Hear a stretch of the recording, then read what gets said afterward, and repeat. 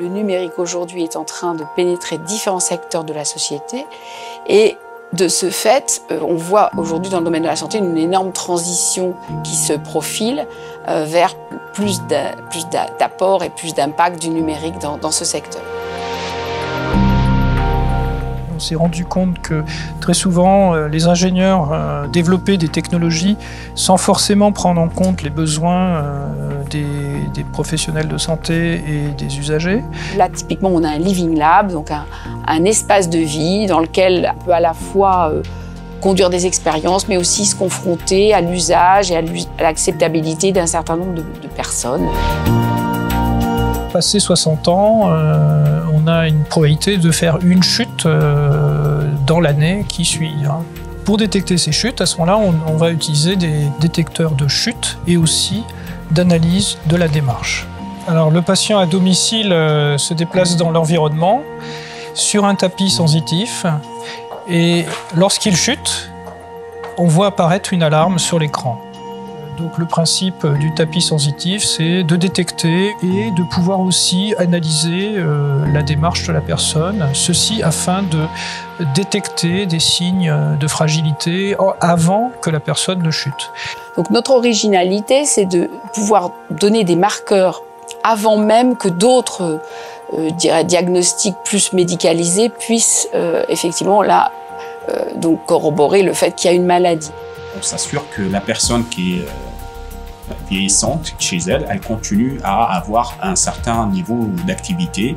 Et dès qu'on remarque qu'il euh, y a une baisse d'activité ou que la personne ne regarde plus la télé ou elle téléphone plus, euh, on peut lever des alertes vers euh, la famille ou le système soignant. D'où l'idée de faire apprendre au robot ces gestes simples de la vie quotidienne pour qu'on puisse euh, après euh, les reconnaître chez les personnes. Marcher devant le robot, ouvrir une porte euh, ou fermer la porte.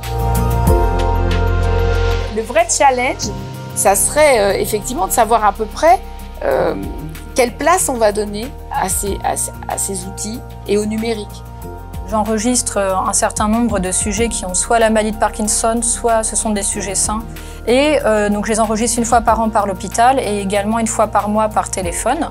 Et euh, dans un second temps, j'analyse leur voix de façon à essayer de les classer juste avec leur voix en fonction de euh, leur maladie, donc de s'ils ont maladie de Parkinson ou s'ils ne l'ont pas c'est de pouvoir à terme apporter une aide au diagnostic juste à travers la voix. Il appellera un numéro, il tombera sur un disque qui lui fera faire des tâches vocales et il aura du coup à la fin euh, un message qui lui indiquera si euh, n'est pas en train de développer la maladie de Parkinson ou si au contraire ça serait bien d'aller voir un médecin, un neurologue.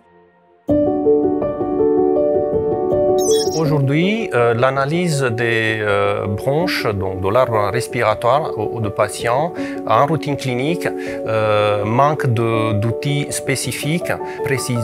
Euh, donc on se contente souvent d'une analyse qualitative. Nous sommes capables de reconstruire en trois dimensions la morphologie de l'arbre trachéobronchique d'un patient quelconque. On est euh, capable de générer des, modèles soit pour l'impression 3D, soit euh, de manière plus virtuelle de naviguer à l'intérieur du, du réseau. L'objectif ici, c'est de permettre aux praticiens de prévisualiser et préparer ces gestes et surtout de se repérer dans euh, la complexité d'un branchement de, de l'arbre trachéobronchique euh, et choisir son chemin. Nous, on travaille sur ça, c'est apporter euh, déjà faire entrer le numérique dans ce monde pour enrichir l'information euh, qui est euh, acquise, qui est capturée par les capteurs, euh, et aussi euh, des algorithmes qui permettent d'aider les, les praticiens dans leurs décisions. Quand il y a une déficience euh, de l'attention, cela reflète peut-être un trouble euh, de développement chez les enfants ou une pathologie naissante chez les personnes âgées. Et donc nous, dans notre laboratoire, on, a des projets de recherche là-dessus et donc euh, on fait des acquisitions avec des casques grand public. Son avantage est qu'il a une, il a une résolution temporelle qui est beaucoup plus importante. On est à la milliseconde près avec le EG, alors que les autres technologies comme les On a une résolution spatiale importante, mais on n'a pas cette résolution temporelle.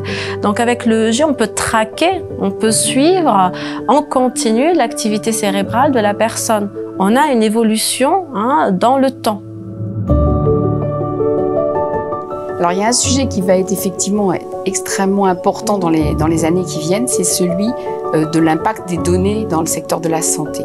Parce qu'effectivement, on va être capable, là, de pouvoir avoir des informations très, très variées sur une personne. Par exemple, son dossier médical, mais aussi ses résultats d'analyse, mais aussi des résultats de radio, euh, et, et, même des résultats de génomique. Donc, le challenge, ça va être d'être capable euh, de pouvoir coupler ces données euh, et, d'une manière fiable et, et, de pouvoir, du coup, euh, faciliter un diagnostic basé sur, sur ces données très hétérogènes.